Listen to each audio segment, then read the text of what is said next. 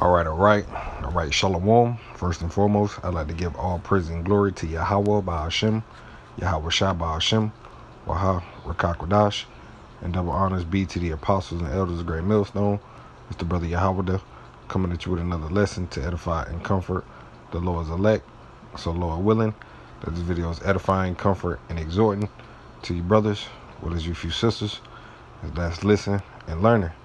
The year 2023 the hopeful year that all prophecy be fulfilled. And that's right, we pray and hope that all prophecies come to pass in the time that we're living in. All right, especially in these times. All right, especially in these times. This is going to be a quick lesson through the Spirit.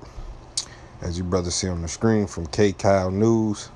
And this is a, um, a video where a bunch of birds are being, are dozens of birds are becoming sick and dying.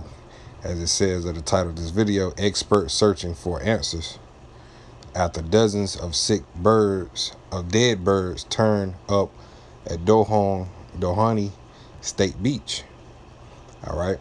And that's a spirit because I was watching um, Patrick Humphrey.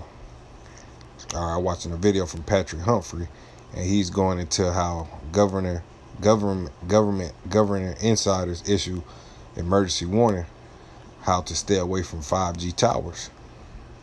All right, and uh, and no coincidence how these birds have been dying, you know, falling from the sky, you know, becoming sick, and very well be that these 5G towers, as it says on this video, it says that micro the microwave frequency flowing from the most U.S. commercial cell towers are generally between 700 megahertz to 5 gigahertz to 5 billion hertz. So these uh, frequencies from these 5G towers are very strong and dangerous.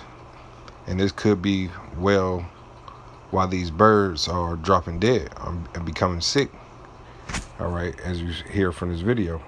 Seagulls and other birds have been found at Doheny State Beach near San Juan Creek in Dana Point over the last few days. The number.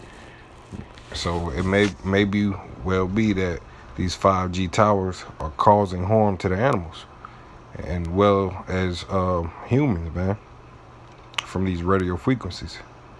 All right, so you know this could be. All right, I remember uh, back in the day, the Apostle El Tahar, he was uh, telling brothers, you know, download the um, the frequency app. You know, with all these five 5G towers are set up, how much frequency in the area, are people uh, becoming sick, catching headaches, you know. So this may be well be. Could it be the 5G towers? You know.